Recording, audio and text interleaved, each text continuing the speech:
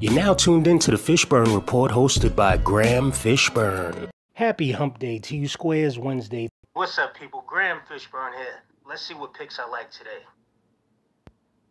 Today on Graham's Pro Sports Picks and Parlays, I did two live tennis straight bets, both in men's tennis at Hertogenbosch in the Netherlands. Borna Coric versus Mackenzie McDonald on the first ticket. Player to win at least one set. No, I don't think Borna Coric will win even one set in this match.